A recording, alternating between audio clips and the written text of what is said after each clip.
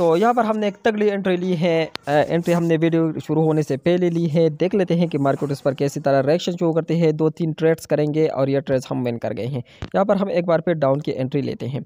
देख लेते हैं। आई स्ट्रैटेजी को आप दोस्तों को एक्सप्लेन करते हैं कि मार्केट किसी किस मोमेंट की जानब, किस स्ट्रैटेजी की जानब, किस ट्रेडिंग स्ट्रैटेजी के बेस पर काम कर रही है।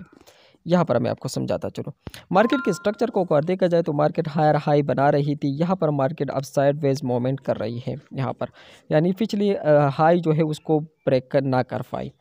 अब मार्केट जो है अपनी करेक्टर को यहाँ पर चेंज किया है। तो जिस यहाँ पर मार्केट ने करेक्टर चेंज किया और यहाँ पर जो market trend line liquidity create कर रही थी, यहाँ पर भी इसको ट्रैप किया।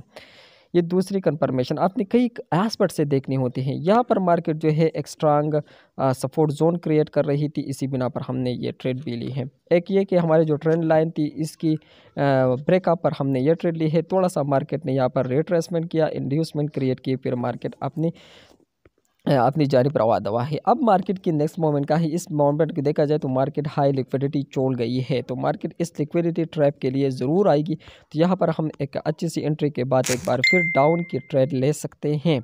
सो मार्केट ने यहाँ पर खासा अच्छा लिक्विडिटी छोड़ी है और मार्केट खासा अच्छा मोमेंटम के साथ जो है डाउन की जानब है। तो यहाँ पर हम एक अच्छी सी एंट्री के साथ डाउन के ट्रेड हम लेंगे फिर।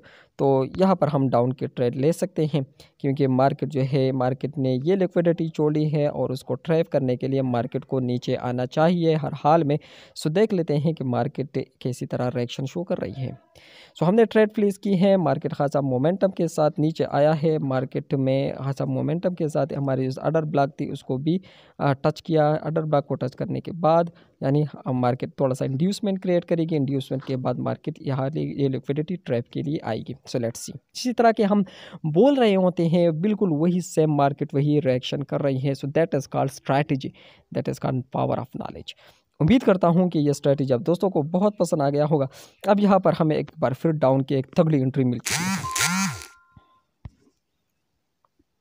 सो देख लेते हैं कि मार्केट उस पर भी कैसी तरह रिएक्शन शो कर रही है। लेट्स सी जिसी तरह के हम सोच रहे हैं, बिल्कुल मार्केट वही सारा रिएक्शन कर रही है।